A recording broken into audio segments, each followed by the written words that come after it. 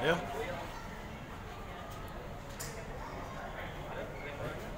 Ya, perayaan hari ini gimana? Ya, pertama-tama mengucap syukur Alhamdulillah hari ini bermain dengan lancar dan tanpa cedera. Mungkin untuk hasilnya sendiri memang belum yang terbaik ya, tapi kita cukup sudah coba semaksimal mungkin, kita sudah uh, mencoba sampai poin-poin terakhir, tapi memang masih belum rezekinya. Ya kita patut bersyukur, tapi ya masih banyak eh, evaluasi yang harus kita lakukan untuk menghadapi pertandingan-pertandingan. ada faktor kelela- eh, kelelahan main Ya pastinya lelah pasti ada, cuman ya kan semua pemain juga merasakan mereka juga ikut tiga turnamen juga ya itu tidak bisa dijadikan alasan. Yang penting memang hari ini mereka di poin-poin terakhir bermain sangat luar biasa, apalagi di poin-poin terakhirnya defense-nya gagal mati ya. Kita memang harus benar-benar eh, harus pintar eh, memanfaatkan uh, momentum. Cuman tadi di poin-poin terakhir kita mungkin agak sedikit terburu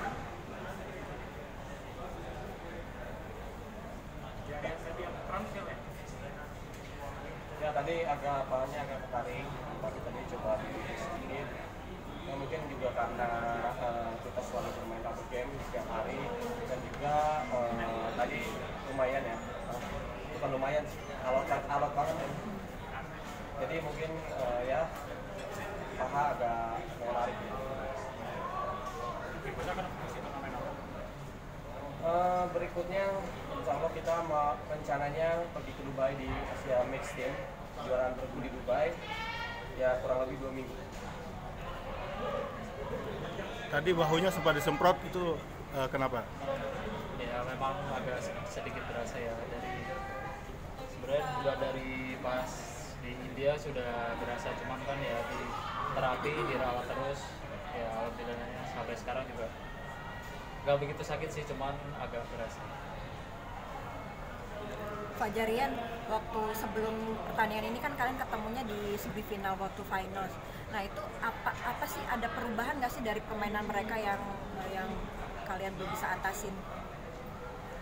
ya kalau permainan dari Tour Final sama di sini mungkin perbedaannya di Tour Final shuttlecocknya lebih kenceng ya jadi mungkin pola permainan mereka uh, lebih ke nolot uh, adu drive sama pola permainan depannya mereka sangat uh, menguasai ya waktu itu pas di Thailand. Tapi mungkin kali ini uh, shuttlecock agak lumayan berat jadi mereka berubah strategi jadi lebih banyak defense ya banyak defense terus sabar dan balik serangnya.